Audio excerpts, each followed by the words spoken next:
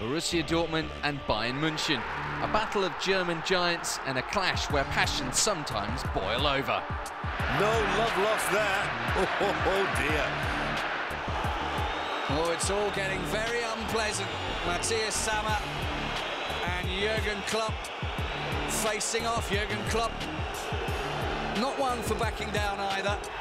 And it's not just been in recent times, but also in 1997, when two of German football's titans got under each other's skin somewhat.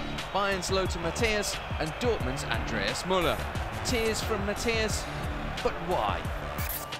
It all came down to a match two years before, when Möller dived in the box in a match against Karlsruhe and won a penalty. After the event, Möller said it was to protect himself against an incoming tackle. Many others didn't see it that way, and Möller received the nickname Heulsuse, or crybaby, for not going into the tackle. So when in the eyes of Matthäus, Möller complained about a challenge against Bayern, the World Cup winning captain from 1990 decided to remind his teammate from that competition exactly what people had said about him.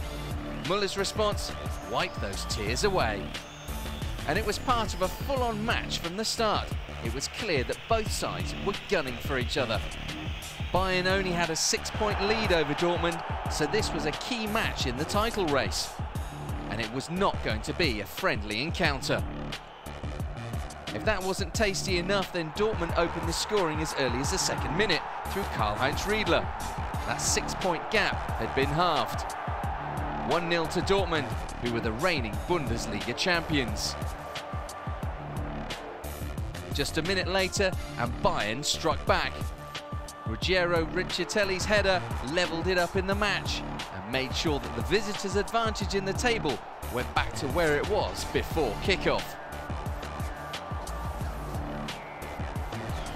A blistering start, but even these two great clubs couldn't keep it up in the scoring stakes, but the tackles just kept flying in. It was certainly not a match for the faint-hearted.